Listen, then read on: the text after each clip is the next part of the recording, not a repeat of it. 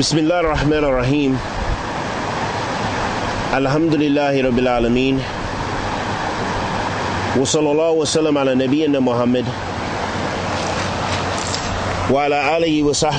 Wa sallam. What are those things which prohibit itikaf or violate itikaf? That's something also very important that we need to know as Muslims. That what violates our itikaf? You know, what are those things which we have to be cautious as Muslims regarding itikaf and that violate or break our itikaf? So now that we have an understanding of what itikaf is, bi'idnillah ta'ala, we'll try to look at some of those things which violate our itikaf. Some of the things that we need to be concerned with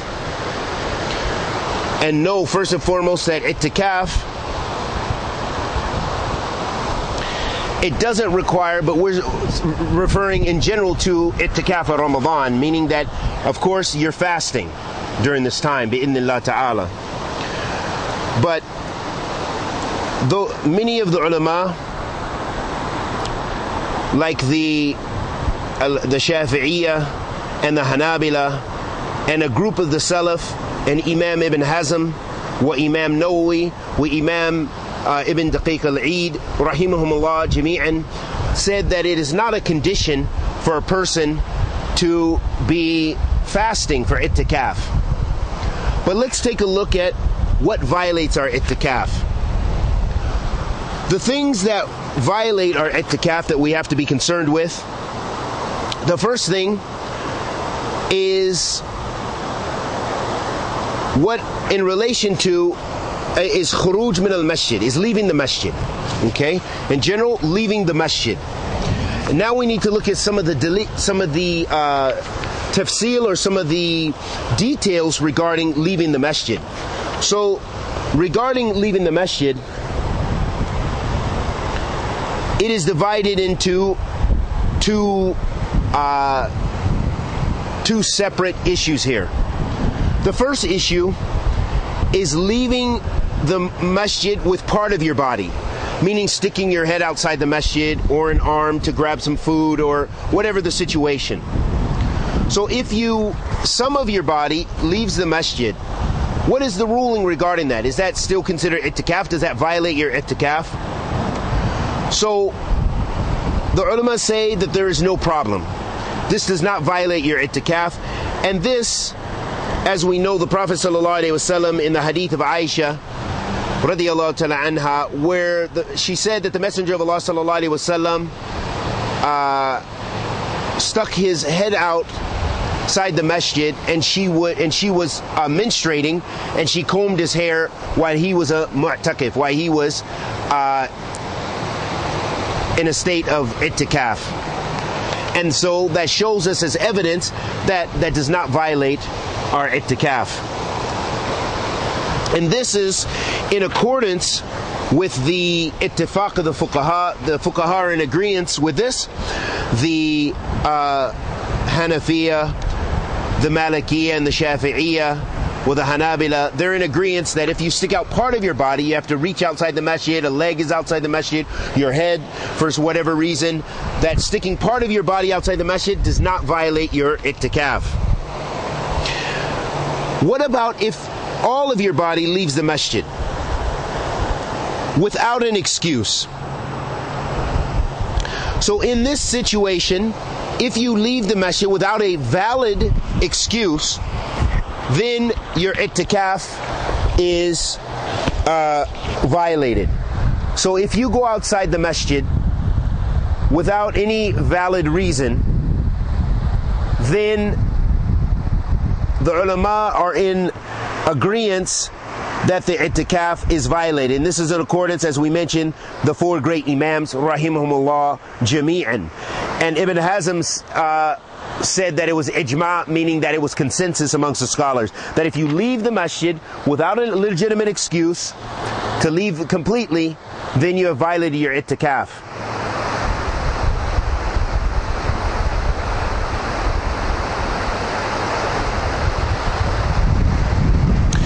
And some of the evidence for this is a beautiful hadith of the Prophet sallallahu alaihi wasallam.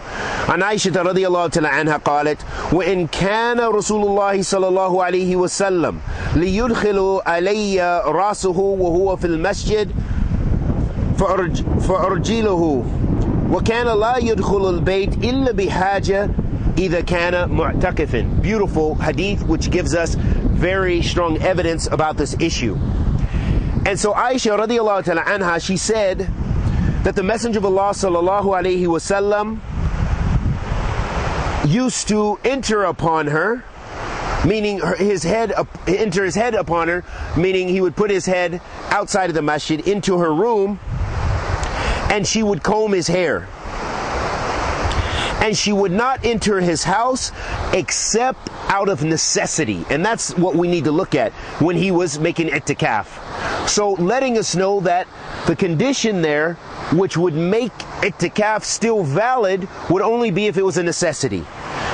Then we have to look at what are those necessities. So the ulama, they're in agreement if that uh, if a person leaves due to a necessity from hissin or shar'in, meaning either due to a body, something related to their senses, out of necessity, or related to the sharia out of necessity, that that is permissible and that does not uh, harm your itikaf. And some of the things that the scholars mentioned, for example, out, uh, the necessity to use the restroom. That's hissin, that you have to, from your senses, you need to uh, dispose of the waste, akramakum Allah, that's in your body, so that does not affect your itikaf going to the restroom, leaving to go to the restroom and then going back into the masjid, making wudu and going back into the masjid or what have you. So that does not spoil your itikaf. Or you need to make wudu because for one of those various reasons. And other than that. So those are some of the reasons why a, a person which which might necessitate them leaving the masjid and their itikaf is still sound. They still have itikaf. And that is in accordance with the ijma' of the ulama, Imam uh, Ibn Mundhir, we Imam Ibn Qudama, we Imam An-Nawawi, rahimahumullah jami'an. They all had agreements on this and they all related that there was ijma' of the ulama, meaning that there was a consensus amongst the scholars about this issue. Another thing, another issue related to itikaf or breaking, in, uh, violating one's itikaf or invalidating it is having sexual relations or uh, sperm coming out, ejaculating. So having sexual relations or ejaculating intentionally violates your itikaf. And the evidence for this is the statement of Allah subhanahu wa ta'ala where Allah wa ta'ala says, وَلَا تُبَاشِرُهُنَّ وَأَنْتُمْ عَاكِفُونَ فِي الْمَسَاجِدِ Allah subhanahu wa ta'ala says, and do not, you know, have relations with them, meaning your, your wives. And you are mu'taqif, meaning you are, uh, you are in the masjid, making taqarrub Allah subhanahu wa ta'ala, uh, and, that, and so that lets us know that that violates our itikaf. So having sexual relations, of course, violates itikaf, and intentionally doing something to uh, ejaculate violates your itikaf, and that is ijma, according to uh, that's consensus according to Ibn Mundhir and Wal Jasas wa Ibn Hazm rahimahumullah jami'an. Then the issue arises: What about the person who has uh, has a wet dream. So if a person has a wet dream while they're having itikaf, while they're making itikaf, that does not violate their itikaf. That does not violate their itikaf. But they must make ghusl and finish their itikaf. They must make ghusl and finish their itikaf. And this is also with the in accordance with the consensus of the fuqaha, meaning the four imams had agreement on this. And the evidence for this is the hadith of the Prophet ﷺ where he said alayhi salatu wasalam, Rufi al qalam an thalatha an naim an naim hatta yastayqath wa an sabi hatta yahtalam wa an majmu wa an al majnoon hatta yaqul that the Prophet ﷺ said the pen is lifted on three uh, the person sleeping until they wake awaken, the child until he uh, reaches puberty, and the uh, person who is lost their sanity until they regain their sanity. So letting us know that something that's out of your control like that does not break your uh, itikaf. So meaning if you have a wet dream while you're in itikaf, make ghusl and continue your itikaf. It does not violate itikaf.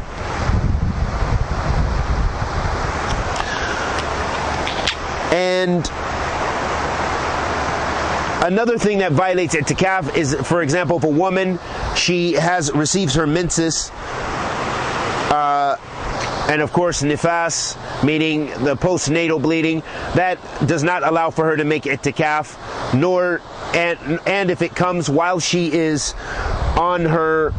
Uh, uh, while she's making itikaf, her haid, her menses comes, that she must break her her itikaf and cannot complete her itikaf. because, and this is due to the fact that she, uh, it is not permissible to stay in the masjid during uh, Haid, and this is the qawl, this is the statement of the Jamhur of the ulama, the Malikiyah, the Shafi'i, and the Hanabila, and Ibn Qudama said it was ijma' al tahrim for the woman who is in her menstruation to stay in the masjid. So it shows us the importance of that when a woman is menstruating that she should not stay in the masjid. And we mentioned some some ulama make exception to that and say that there's no uh, sound uh, evidence for that and and so forth. And especially if a woman can guarantee that she's not going to uh, to make the masjid uh, filthy, then if it was out of necessity, she could stay in the masjid and Allah subhanahu wa ta'ala knows best. But I think it's better to, the most safest is to avoid that if a woman is on her menses, to avoid staying in the masjid. And we do know at least related to this issue that it breaks the itikaf of the woman if she has her menses. So she should not um,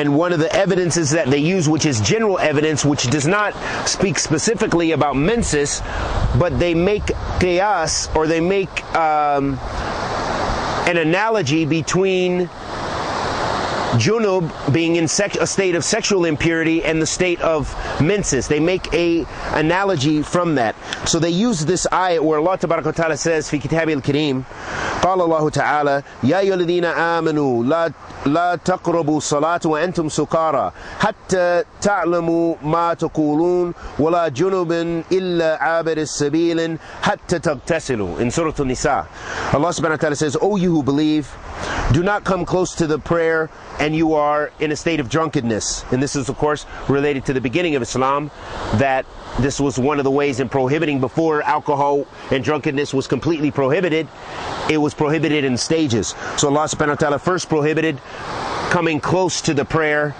and being in, in prayer when you were drunk until you know, till you understand. Meaning drunkenness removes your understanding, so that when you're you have to be in a state of of um, sound intellect, which is in a state of of soberness, sobriety. So Allah subhanahu wa ta'ala says, O you who believe, uh, do not come close to the prayer, and you are in a state of drunkenness until you regain your intellect, until you understand what you're doing. And do not say and, and, and, and know what you're saying. Nor in a state of sexual impurity, meaning junub, except the traveler, until you make ghusl. So, meaning that the person who is in a state of junub, they have to make ghusl before they can return to being in the masjid and the salat. And the qiyas here, the ulama, they say this is not restricted. Those ulama that use that as evidence say it is not restricted to just the person in junub, but this is also includes the haid when nifas, the woman who is in her menstruation, meaning that she has to wash herself, uh, make ghusl before uh, uh, she may she has to be pure and make ghusl. So she should not be in a state of ittikaf or staying in the masjid in a state of impurity. Another thing which violates your ittikaf or makes your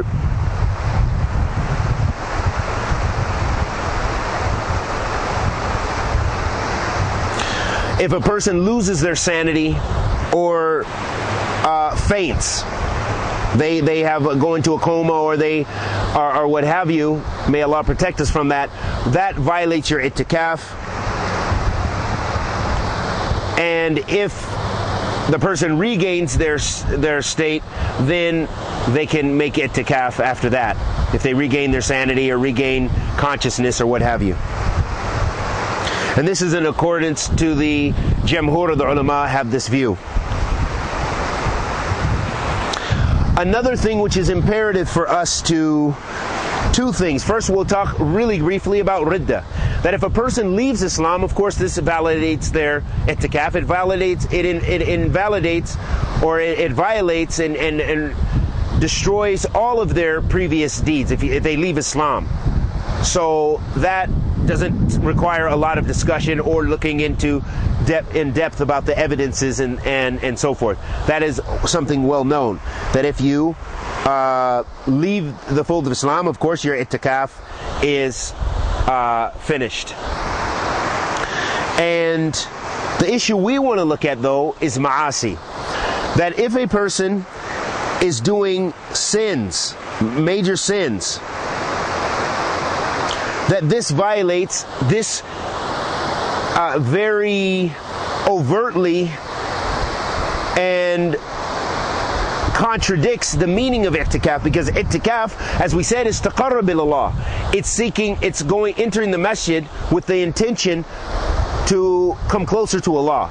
Ma'asi, by its very essence, is the opposite of that. It is going further from Allah, from sinfulness. It is not coming closer to Allah, it is the opposite.